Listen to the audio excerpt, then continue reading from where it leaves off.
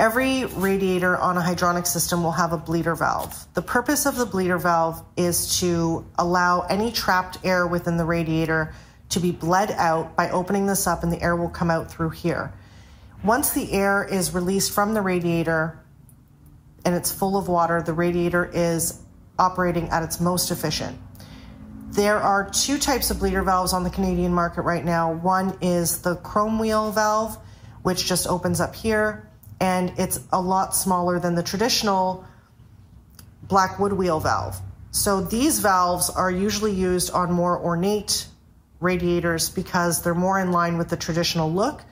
However, nowadays they make the what used to be wood wheel into plastic, but they still function in the same way. So you're still just opening it up to release the air to come out.